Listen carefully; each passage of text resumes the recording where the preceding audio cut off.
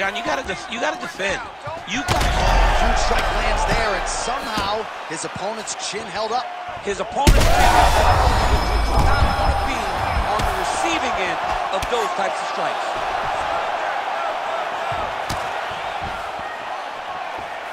Slips the punch.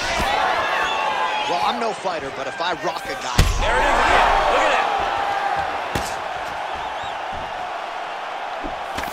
He was able to block that shot.